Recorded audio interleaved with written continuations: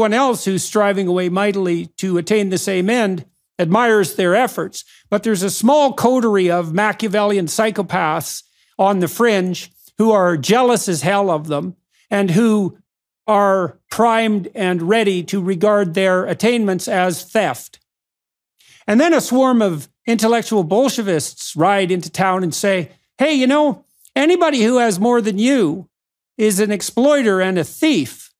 And the moral thing to do is to take what they have and, if not kill them and rape them, then at least ship them somewhere where they can't do any more harm. Mm-hmm. And then you ask, well, to whom does that message appeal?